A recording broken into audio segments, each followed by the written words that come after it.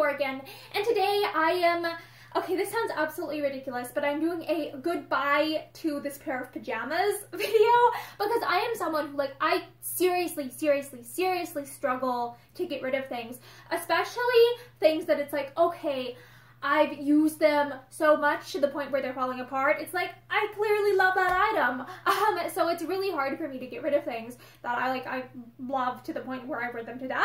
Um, and these pajamas are at the point where it's like they're falling apart. Like I know it's not super visible on the camera, but like literally the elastic is visible like right here and a bunch of other points throughout the shorts and also the the top area like where the facing is for the buttons. Like it doesn't lie flat. It gives a very wrinkly silhouette.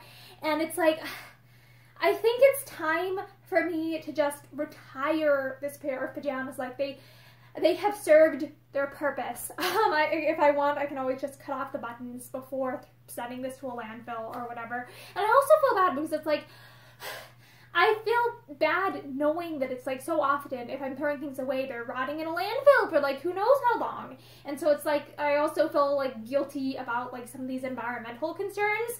Um, but I'm trying to just be like, you know what? This pair of pajamas has served their purpose. They've brought me like pajamas. they've, they've been something that I can wear to sleep in. So they've served their purpose.